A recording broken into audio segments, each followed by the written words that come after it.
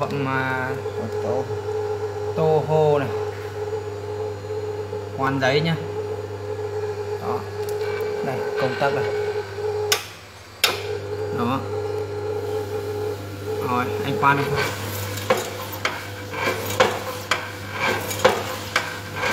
Khoan ngọt thế nhỉ?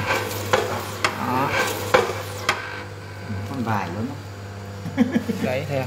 cái cái đằng này là cái chỗ ra ra phôi luôn này anh anh, anh khoan phát cho người đó.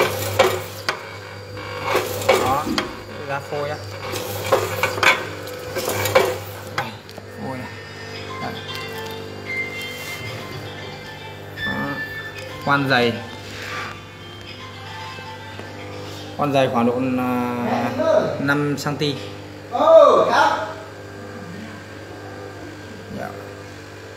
Máy máy Nhật. Nó bỏ à? Máy máy nhật